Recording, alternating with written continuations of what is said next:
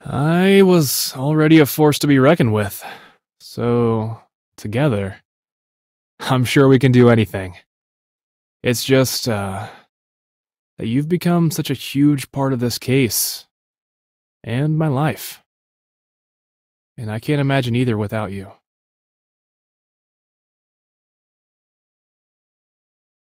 Jeez, you're making it hard to focus. Okay. Alright, we can have a little fun. But get here ASAP.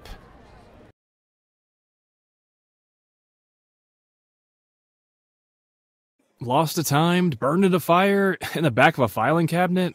Who knows? The original landowner died decades ago. Then the city took possession and built all those homes that Ganderson is demolishing.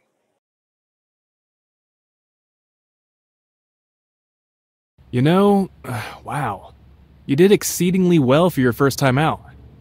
And well, I hope there'll be more times. If you would like to be there, of course. Johnny and I could use another partner in this operation.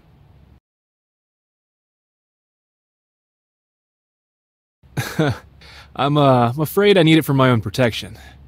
Lucky for me, I'm a crack shot. I'd love to give you a few pointers one day.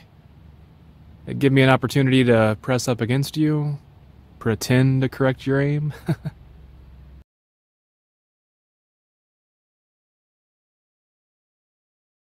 Alright, I'm just trying to get a sense of who you are.